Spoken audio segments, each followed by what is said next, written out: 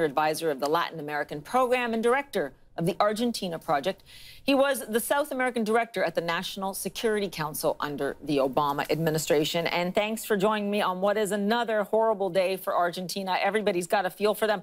I'm telling you, this country is making austerity actually look good because this is looking like austerity plus, plus, plus, plus, plus. Is this politically viable? Because I think many people agree this is the financial medicine the country needs. That remains to be seen. And frankly, uh, most political observers would say it's not viable, at least for the long term viability of this particular government. It took office two years ago, and right from the beginning, it inherited this fiscal wreckage from more than a decade of populism. And most economists said it needed to fix the fiscal accounts and it needed to do so quickly. Its answer was it's impossible, that the Argentine public won't permit it, and serious austerity would bring an end to the government. And when the Argentine public rejects an economic model, it does so often violently, it does so in the street, and governments leave office early. Yeah, and again, it's the people of Argentina that suffer through that. Let's go through some of those measures, though. You're talking a tax on exports. I mean, this is really regressive. And abolishing half the ministries, which obviously people would say is a good thing.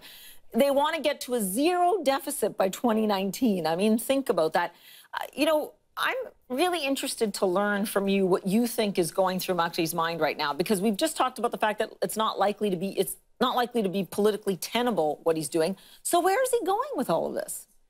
I think he's decided rather courageously on the one hand. On the other hand, I think his hand has been forced by the International Monetary Fund and the international financial community that he has no other options. I think the, the irony of the situation is, is that he may be proved right from the beginning, which means that his economic model will not survive this level of austerity, in which case the international financial community will be faced with a much more leftist populist government and will lose even further confidence in Argentina, and this cycle will even worsen. So I think ultimately his political calculation may be proved correct, and even as he adheres to the economic advice of the international community, that may be the end of this new economic reform moment in Argentina.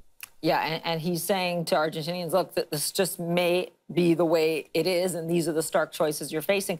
What's the best case scenario that we can get if you see this? Because I know that sometimes they're looking for some kind of tepid growth in 2019 if they can put all this behind them.